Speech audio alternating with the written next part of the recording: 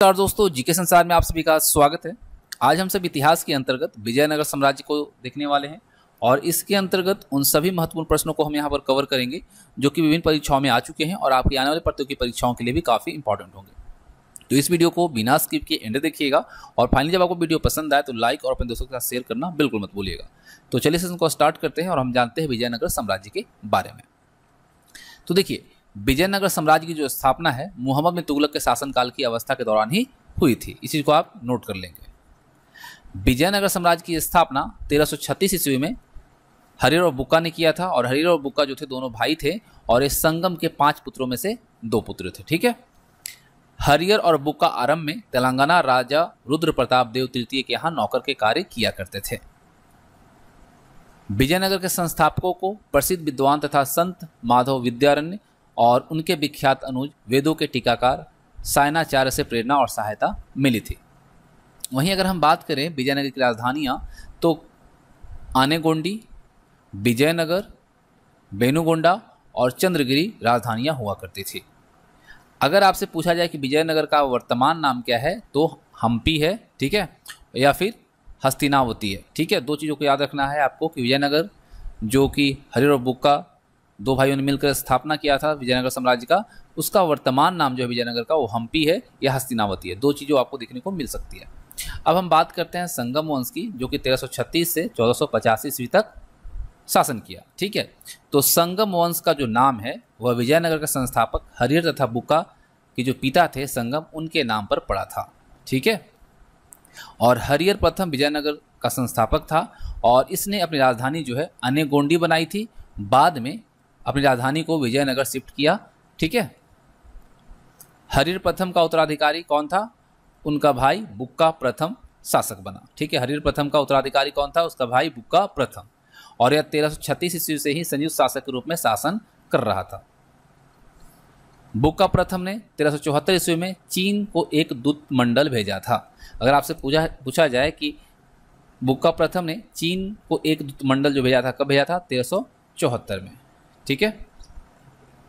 अब देखिए, कुछ और प्रश्न है कि हरियर द्वितीय ने, ठीक है, हरियर द्वितीय ने महाधिराज तथा राज परमेश्वर की उपाधि धारण की थी।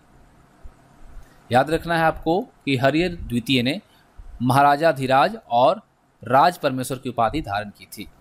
हरियर द्वितीय ने कनारा, मैसूर तिरुचापल्ली कांची और चिंगलपट आदि प्रदेशों पर अपना आधिपत्य कायम किया था।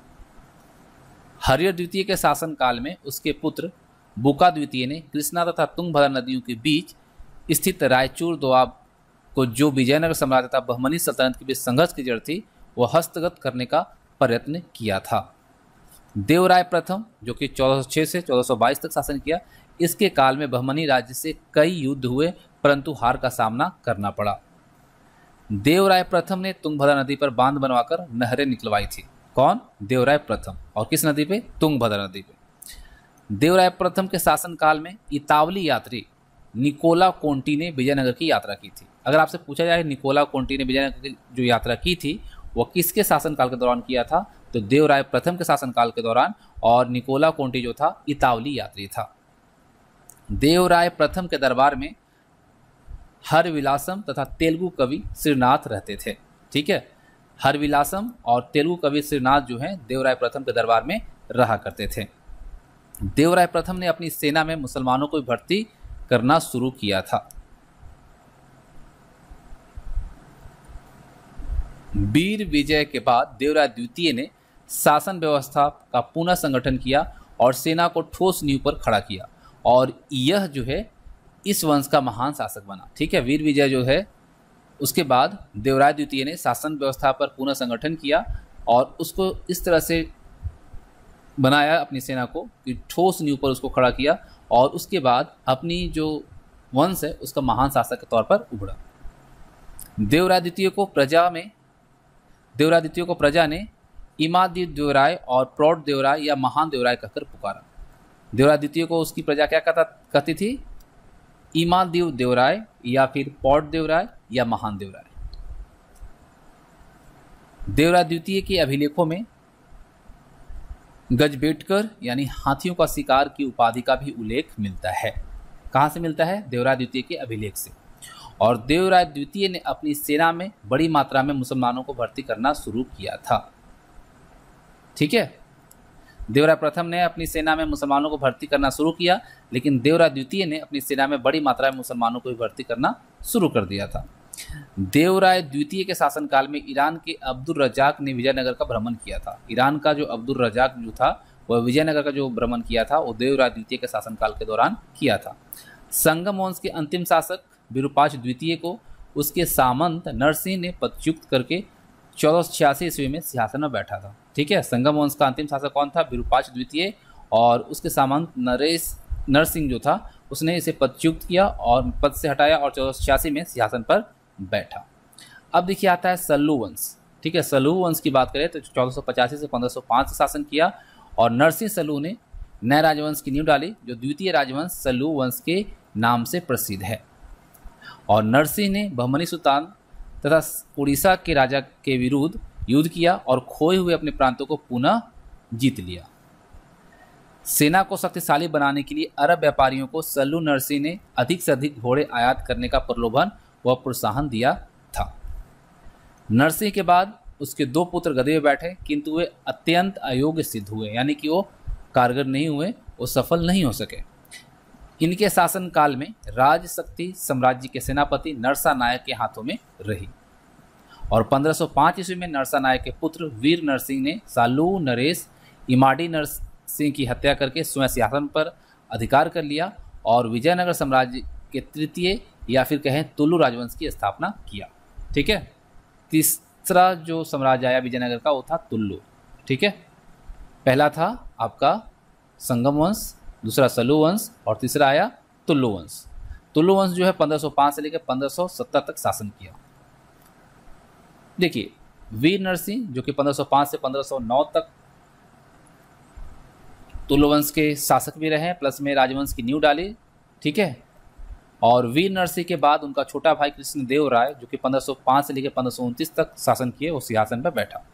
और बाबर ने अपनी आत्मकथा में कृष्णदेव राय को विजयनगर का महानतम शासक कहा है।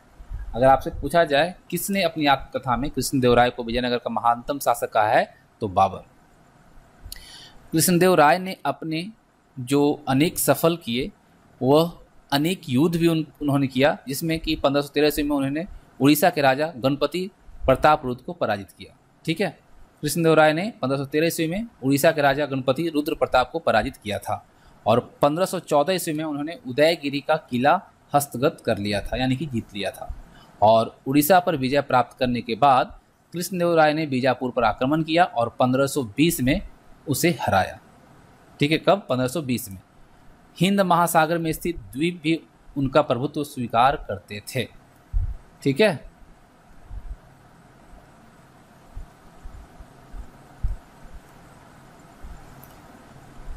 कृष्णदेव राय ने पुर्तगाली शासक अल्बुकक्र के साथ मित्रतापूर्ण संबंध कायम किया और भटकल में उसे किला बनाने की अनुमति दी। ठीक है? भटकल में किला बनाने का अनुमति अल्बुकक्र कौन दिया था? कृष्णदेव राय ने दिया था। कृष्णदेव राय ने तेलुगु ग्रंथ आयुक्त मालेद की रचना की थी। आयुक्त मालेद जो है, ये तेलुगु ग्रंथ है और इसकी रचना कृष्णदेव राय ने किया है। कृष्णदेव राय के शासनकाल को तेलुगु साहित्य का क्लासिक युग कहा जाता है या माना जाता है? उसके दरबार में आठ महान विद्वान एवं कवि रहते थे, जिन्हें अष्ट दिग्गज कहा जाता था। ठीक है? कृष्णदेव राय के दरबार में आठ महान विद्वान और कवि जो रहा करते थे, उन्हें अष्ट दिग्गज के तौर पर जाना जाता था। कृष्णदेव राय ने महान विद्या प्रेमी होने के कारण आंध्र भोज और अभिनव भोज जैसी उपाधियाँ धारण की है। अष्ट दिग्गज तेलुगु कवियों में पेडाना राजकवि था। ठीक है? अष्ट दिग्गज तेलुगु कवि जो थे, उसमें पेडाना जो था, वो क्या था? राजकवि था। कृष्णदेव राय ने गोलकुंडा के राजा कुली कुतुब शाह को युद्ध में पराजित किया था। कृष्णदेव राय ने गोलकुंडा का जो राजा था, कुली कुतुब शाह, उसको पराजित किया था। और कृष्णदेव राय के शासनकाल में पुर्तगाली यात्री डोमिंगो पायस आया था। अगर आपसे पूछा जाए पुर्तगाली यात्री डोमिंगो पायस जो है, किसके शासनकाल के दौरान आया था तो कृष्णदेव राय के शासनकाल में। कृष्णदेव राय ने विजयनगर के निकट नागलापुर नामक नगर की रचना की। नागलापुर, याद रखिएगा। और कृष्णदेव राय जो है, हजारा मंदिर और विठल स्वामी मंदिर का भी निर्माण कराया। और आपको पता है कि प्रसिद्ध विट्ठल स्वामी मंदिर है, जिसमें छप्पन छत्तीस स्तंभ संगीतमय स्वर निकालते हैं। अगर पूछा जाए कि कृष्णदेव राय कौन से धर्म में आस्था रखता था तो वैष्णव धर्म। कृष्णदेव राय का उत्तराधिकारी उसका भाई अच्युत राय हुआ, जिसने पंद्रह से लेकर पंद्रह तक शासन किया। अच्युत राय के शासनकाल में पुर्तगाली यात्री नुनीज ने विजयनगर की यात्रा की थी और अच्युत ने महामंडलेश्वर नामक नया अधिकारी नियुक्त किया था। ठीक है? अच्युत राय की मृत्यु के उपरांत उसका भतीजा सदाशिव सिंहासन में बैठा, किंतु राज्य की वास्तविक शक्ति उसके प्रसिद्ध मंत्री राम राय के हाथों में रही। यानी कि शक्तियाँ जो थी, वो जो संभाल रहा था बागडोर, वो मंत्री राम राय संभाल रहा था। बीजापुर, अहमदनगर, गोलकुंडा और बीदर भी इसमें शामिल था, जिसमें कि सेनाओं ने विजयनगर पर आक्रमण किया और 23 जनवरी पंद्रह को तालीकोटा के युद्ध में उसे पराजित किया, परास्त किया, ठीक है? गोलकुंडा और बरार के मध्य पारस्परिक शत्रुता के कारण बरार इसमें शामिल नहीं हुआ था। राम राय ने वीरतापूर्वक युद्ध किया, लेकिन वह पकड़ा गया और अहमदनगर के सुल्तान ने स्वयं अपने हाथों से उसका वध कर दिया था। तालीकोटा का युद्ध कब हुआ था? पंद्रह ईस्वी में। और इस समय विजयनगर का जो शासक था, सदाशिव राय था। ठीक है तालीकोटा का युद्ध पंद्रह में हुआ था और उस वक्त विजयनगर का शासक जो था, सदाशिव राय था। एक और वंश आता है अराविड वंश। अराविडू वंश जो है, राम राय के भाई तिरुमाल ने पंद्रह सत्तर ईस्वी में सदाशिव को अधपस्त करके, यानी कि अपदस्थ करके, पद से हटा करके अराविडू वंश की नींव डाली थी। ठीक है, कब? 1570 में। तिरुमाल का उत्तराधिकारी रंग द्वितीय हुआ और रंग द्वितीय के बाद उसका भाई वेंकट द्वितीय सिंहासन पर बैठा। और वेंकट द्वितीय की चित्रकला में बड़ी रुचि थी। उसे यूरोपीय चित्र बहुत पसंद थे और इसने दो जेसुइट चित्रकार अपनी सेवा में रखे थे।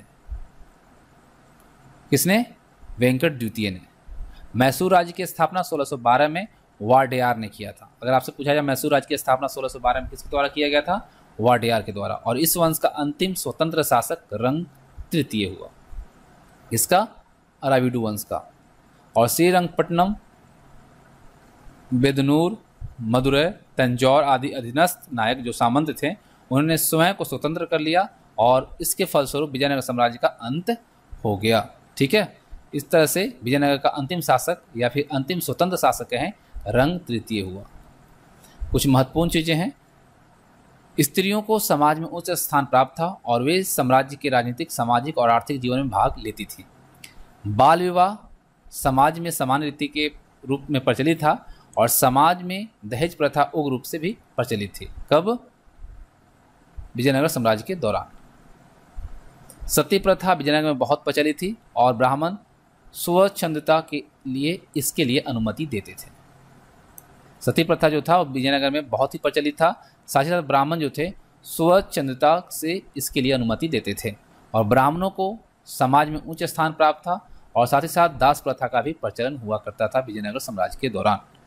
मध्य वर्ग में सेठी या चेटी नामक एक बड़ा समूह था, जिनके हाथों में अधिकांश व्यापार केंद्रीभूत हुआ करता था। विजयनगर साम्राज्य में उत्तर भारत से सबसे बड़ी संख्या में लोग आकर दक्षिण भारत में बस गए, जिन्हें बड़वा कहा जाता था। ठीक है? विजयनगर साम्राज्य में उत्तर भारत से जो बड़े संख्या में लोग जाकर दक्षिण भारत में बसे, उन्हें बड़वा कहा जाता था और मनुष्य के क्रय विक्रय को वेश वर्ग कहा जाता था। विजयनगर साम्राज्य के दौरान मनुष्य का जो क्रय विक्रय होता था, खरीद खरीद बिक्री जो होती थी, उसे वेश वर्ग कहा जाता था और मंदिरों में देव पूजा के लिए देवदासियाँ रखी जाती थी। सामाजिक जीवन में गणिकाएँ का महत्वपूर्ण जो था, वो स्थान हुआ करता था। सामाजिक जीवन में गणिकाओं का महत्वपूर्ण स्थान हुआ करता था विजयनगर साम्राज्य में, और समाज में पर्दा प्रथा प्रचलित नहीं थी। विधवा स्त्री से विवाह करने वाले पुरुष जो होते थे कर से मुक्त थे। ठीक है? अगर कोई विधवा स्त्री से विवाह करता है पुरुष तो उसे टैक्स नहीं देना होता था, टैक्स मुक्त होता था। कृष्णदेव राय शतरंज का प्रेमी था, और शतरंज का खेल उसे बहुत लोकप्रिय था। ये सभी विजयनगर साम्राज्य से जुड़े हुए फैक्ट्स हैं, ठीक है? विजयनगर काल में युवराज के अल्पायु होने पर प्रतिशासक की नियुक्ति ही विजयनगर के पतन का एक कारण सिद्ध हुई।